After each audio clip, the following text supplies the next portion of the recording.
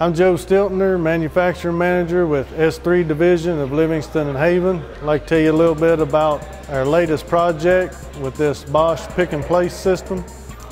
What we have here is a Bosch two-axis pick and place system. It has two Z-axes, one X-axis. Uh, it picks the parts out of a press and it puts them in a test bath. From the test bath, it puts them on a conveyor of good product or bad product it knows in the drive system on where to put them. Uh, we had a few challenges with this project. Uh, what this was doing was it was replacing some 1980s technology that they had in place. Uh, wasn't very dependable or reliable.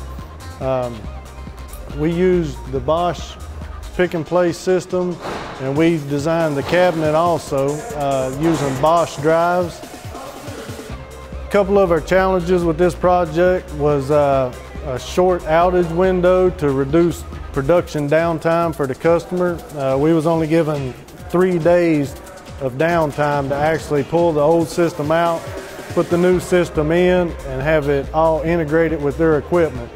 Uh, to achieve that, what we decided to do was set the machine up fully functional here in our shop in Charlotte and do a complete runoff and test out of it so that we could just simply remove the old, put the new in, and it'd be ready to go.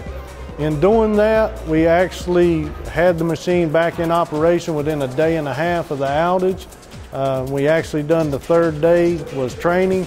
We done that while they were in production. So we put them in production in half the time that we were allotted to be down.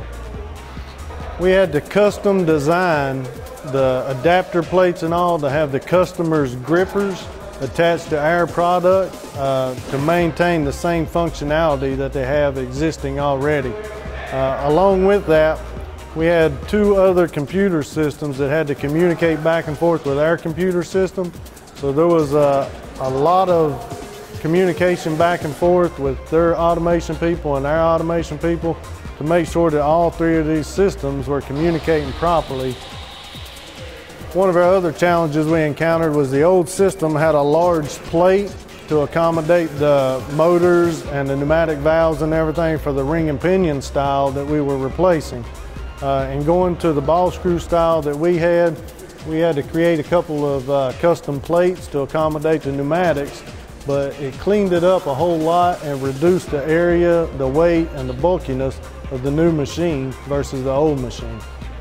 This improved the accessibility of the machine and the equipment and made it a lot more maintenance friendly.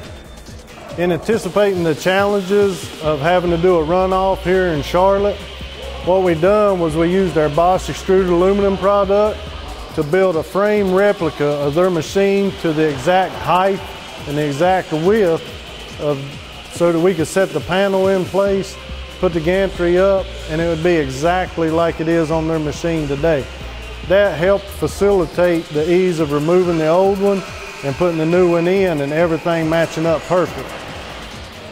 In Bosch being part of our core vendor solution, we was able to utilize them with their servo drives for the ball screws, use them in our pneumatic valves, and in the drives in the cabinet to run the servo drives. Uh, along with that, we use their MGE product as our test fixture. So this encompassed a whole Bosch turnkey solution for the customer.